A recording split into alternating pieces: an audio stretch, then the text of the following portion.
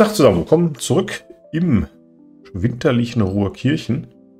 Auf der linken Seite unser neues Krankenhaus, was wir installiert haben.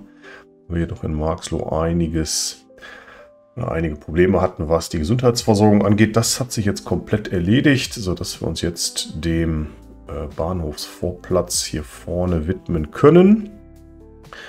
Ähm, wir brauchen jetzt noch die Straßenbahn und die Busverbindungen. Da steigen wir jetzt auch direkt ein. Was ich ja gesagt habe, ist bei den Straßenbahnen, ich möchte keine Häuser abreißen, wenn wir sie jetzt nachträglich installieren. Das hat man ja früher bei den Eisenbahnen, hat man es, oder bei den Eisenbahnschienen zum 19. Jahrhundert, ähm, relativ brutal gemacht, aber ähm, beim Bau der Autobahn. Da wurde natürlich dann auch entsprechend also enteignet und die Leute dann aber entschädigt, die dort gewohnt haben.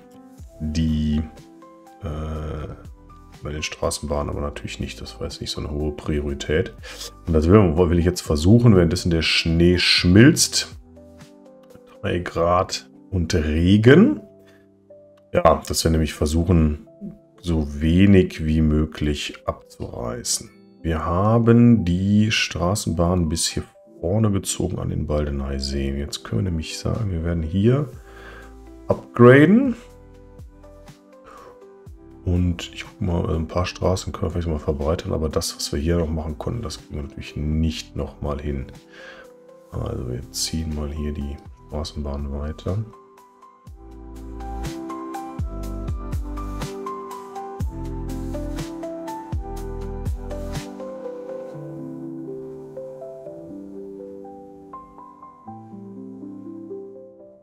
Dort, wo es geht, will ich die Straße natürlich trotzdem verbreitern. Das heißt, wir brauchen da dann immer diese sechs ähm, spurige Straße mit diesem Mittelstreifen. Also hier kriegen wir das hin an der Straße. Wieso ist das hier so asymmetrisch? Sollte aber hoffentlich kein Problem bis... Ah, bis hier vorne kommen wir sogar. Okay.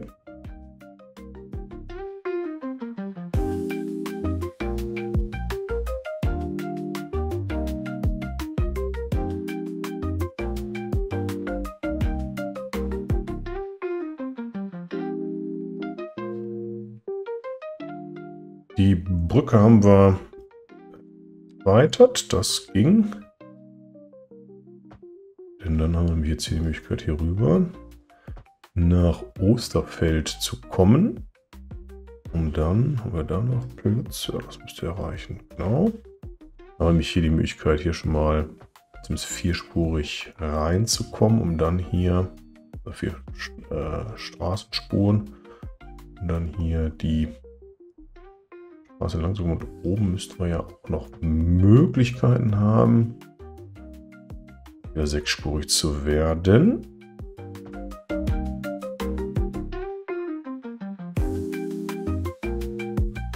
Das nehme ich jetzt mal in Kauf, dass wir jetzt hier die abreißen.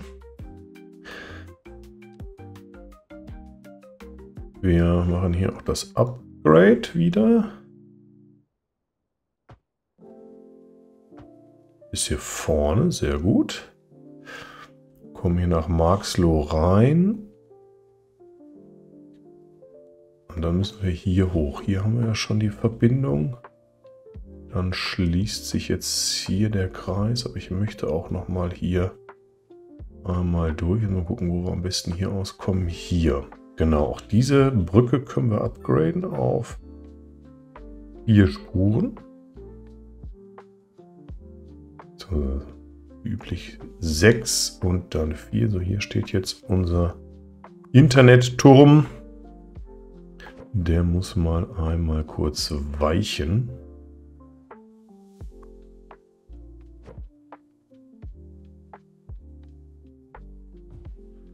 Dann passt nämlich auch hier nochmal diese Verbindung hin. Sechsspurig, das freut natürlich jetzt auch gerade den Verkehr.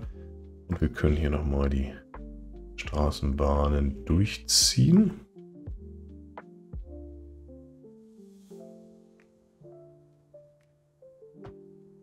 Bis hier vorne.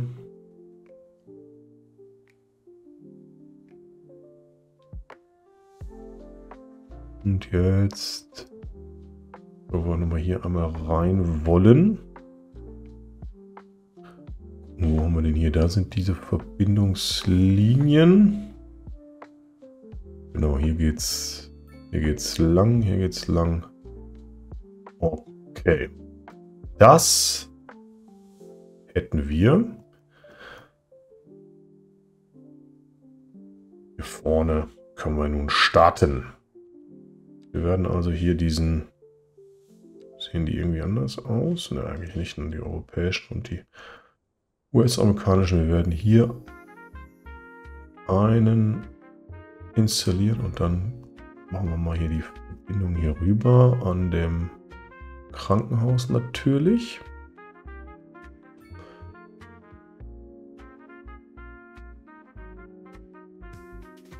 Oh, was ist denn da mit den Taxen los? Das ist ja Wahnsinn. Äh, ich würde, glaube ich, doch noch mal eine Verbindung hier rein haben wollen. Marxloh. Ich kann nämlich hier auf dem Teilstück. Hier haben wir ja dann unser Schulzentrum. Dann machen wir nämlich hier eine kleine Schleife. Ich weiß gar nicht, wie das mittlerweile ist. Mit den ähm, Cities Currents 1 war das ja, das ja nicht so gut funktioniert mit diesen Kreisen. Kreisförmig geführten Routen. Das ignoriere ich jetzt hier aber mal was die Straßenbahn angeht. Also hier kommen jetzt die Gegenstücke noch hin.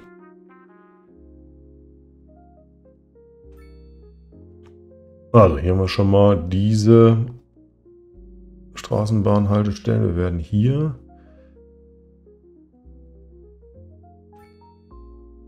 in Osterfeld an dieser Stelle, wir können hier vorne direkt am Kraftwerk noch eine Station platzieren. Weil da, wo wir viel, also idealerweise ausreichend Platz haben. Das gleiche machen wir hier, auch wenn hier nicht so viel Zugang ist.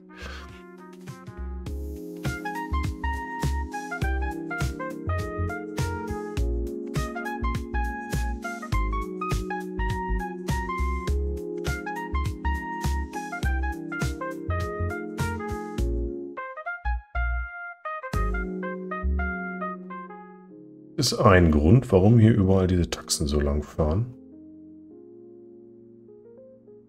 Jetzt staunen sie sich hier. Hm. Interessant. Ja, die Platzierung der Straßenbahnhaltestellen finde ich jetzt gut. Dann werden wir jetzt die erste Route machen. Das wird eine kleine Route sein. Einmal hier durch vom Bahnhof nach Marxloh.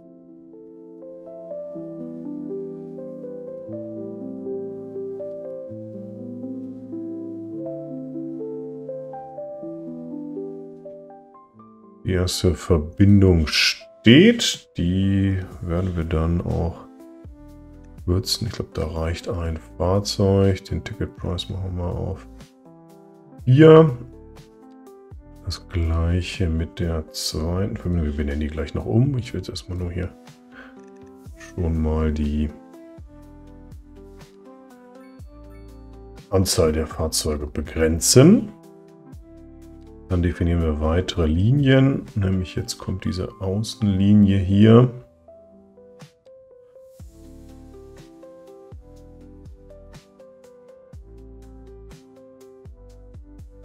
Ich überlege gerade, ob hier eine Verbindung nach Osterfeld zwar sinnvoll ist, aber hier dann gedreht wird. Also gar keine Kreisverbindung. Ich glaube, das machen wir auch. Moment, wir löschen die nochmal. Also die hat er gar nicht drin. Okay, denn ich möchte hier...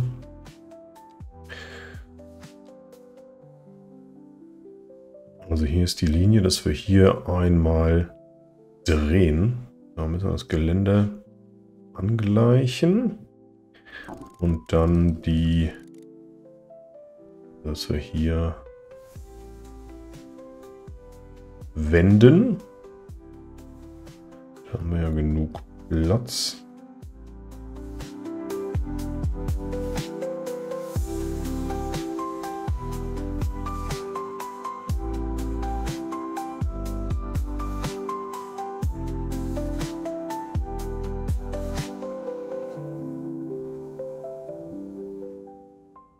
Platzieren wir die Linie nochmal neu, dass wir hier starten. So, das, haha. Wir brauchen dann natürlich nochmal eine Wendemöglichkeit auf der anderen Seite. Hm.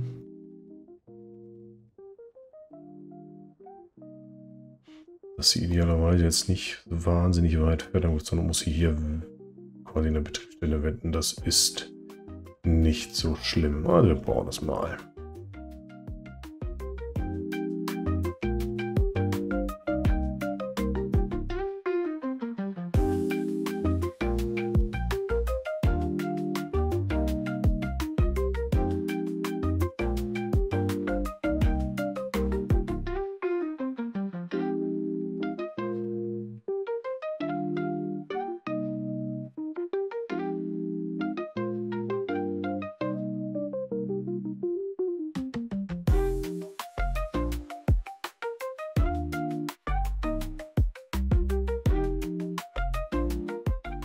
Das setzen wir mal auf 3. Wir sehen, diese eine Linie wird schon komplett benutzt.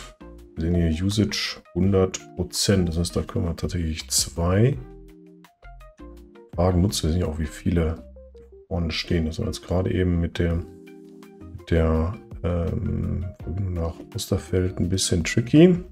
Deswegen muss ich nochmal diese Wendemöglichkeiten da installieren. Aber scheinbar äh, funktioniert das mit diesen Kreisrouten. Das ist Prima. Ich glaube, ich werde hier nochmal einen weiteren Platz definieren für die äh, Straßenbahn und dann jetzt hier reinfahren nach Marxloh. Da stehen ganz viele Leute. Das ist gut. Und dann geht es jetzt hier Richtung Baldeneysee.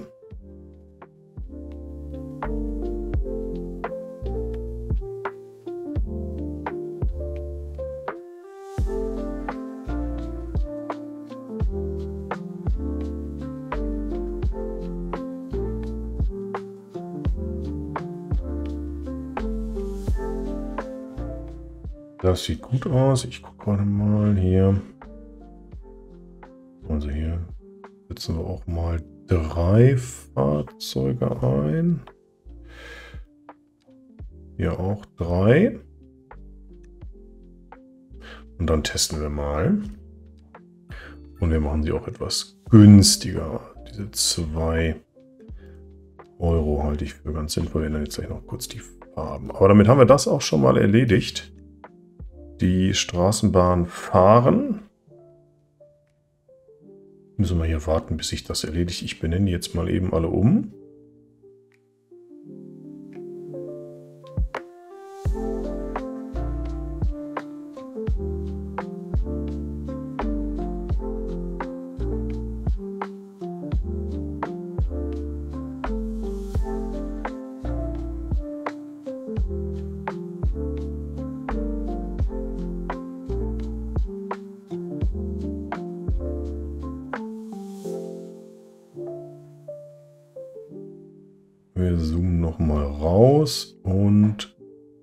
Sehen, es funktioniert ganz gut, auch das mit diesen Taxen. Das ist echt, echt interessant. Aber wir haben es geschafft, die Verbindung mit dem öffentlichen Nahverkehr zu realisieren. Wir sehen diese Verbindung hier, die ist echt gut besucht. Wir gucken uns das mal an. Hier warte gerade keine. Hier sind 7, 340. So ein zu passend 200. Ja, okay. Also dann gibt es auf der Linie 3 und auf der Gegenstrecke, also GZ und UZS heißen und im und gegen den Uhrzeigersinn. Hier brauchen wir auch 3. Okay, und dann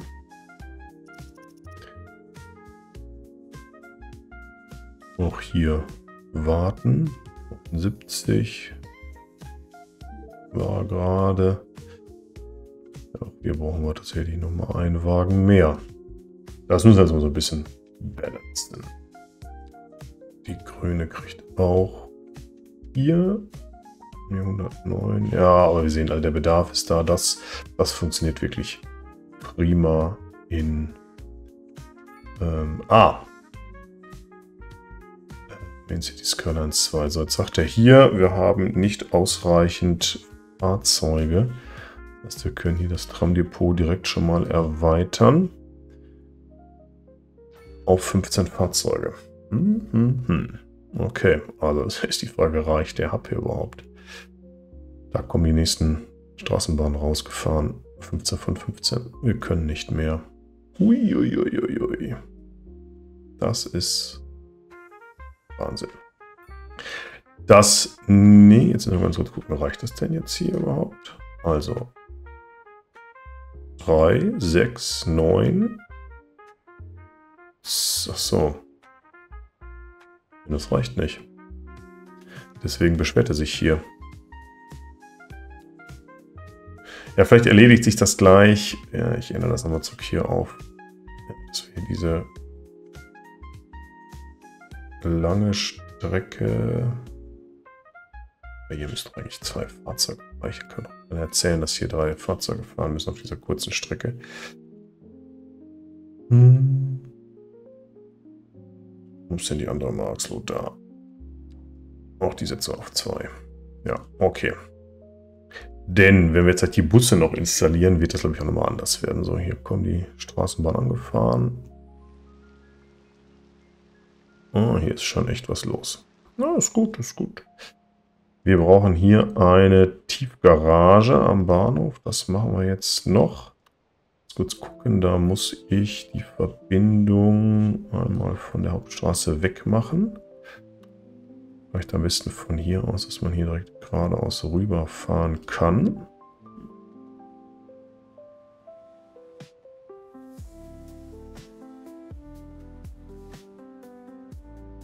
ist ein bisschen schräg, oder? Täuscht das? Die Tiefgarage hier vorne hin. Jawohl. Und dann ein Fußweg hier entlang.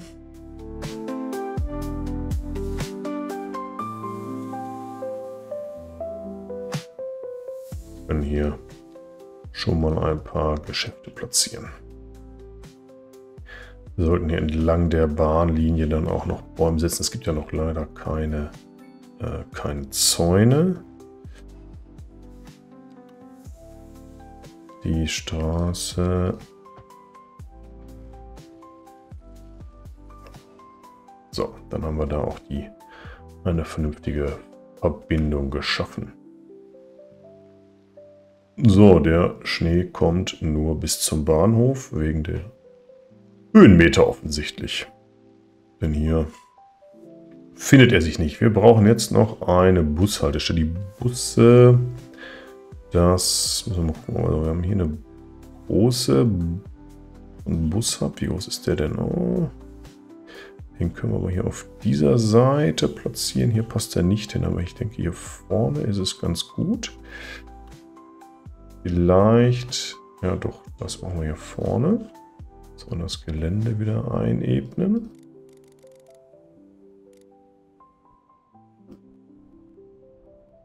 Bewegen wir etwas den Schnee, um dann die Bus, diesen Bus-Hub so nah wie möglich vielleicht auch hier ranzusetzen.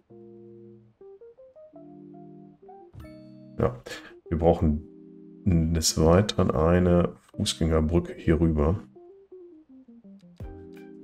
Ich glaube, das ist ganz entscheidend, damit die Leute hier auch gut über die Straße kommen.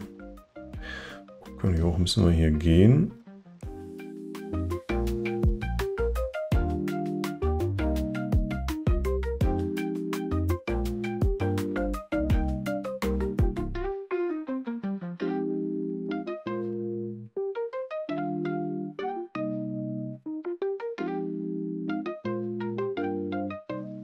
muss ein, eine Fußgängerstraße sein, denn die Brücke ist zu kurz. Die will da diese Stützpfeiler installieren. Dann machen wir das damit. Wir müssen dann gucken, dass wir jetzt von hier oben entsprechend runterkommen.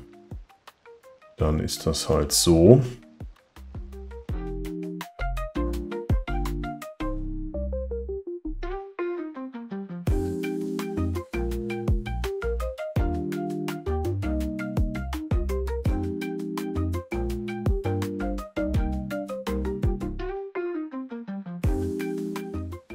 Verbindung nutzen wir jetzt hier und dann können wir hier vorne, denke ich, noch ganz gut die Verbindung hier rüber machen von den Bussen.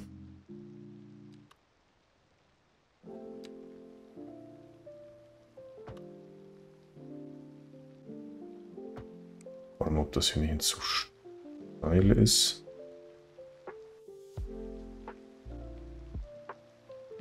Sieht ein bisschen komisch aus, weil es asymmetrisch ist, aber ich glaube, dass das geht. Dann machen wir hier nochmal eine Verbindung hier rein.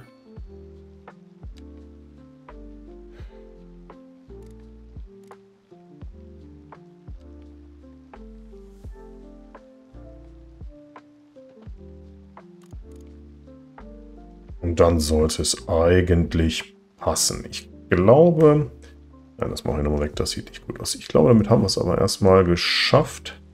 Wir werden das jetzt hier dann in der nächsten Folge ausbauen. Wir werden die Busverbindung setzen. Der Hub ist platziert. Ein letzter Blick noch auf die Straßenbahn. Das sieht wirklich sehr gut aus. Das läuft gut. Gute Auslastung, viel Verkehr. Können einen, letzt, einen allerletzten Blick nochmal auf den Verkehr werfen. Äh, da oben. Und das ist halt immer der Traffic Flow tagsüber. Wir sind etwas unter 60 Prozent. Naja, gut. Gut, das soll es aber in dieser Folge gewesen sein. Wir haben hier unseren Hub. Wir haben die Straßenbahn etabliert. Ich bedanke mich fürs Zuschauen dieser Folge und wir sehen uns beim nächsten Mal. Bis dahin.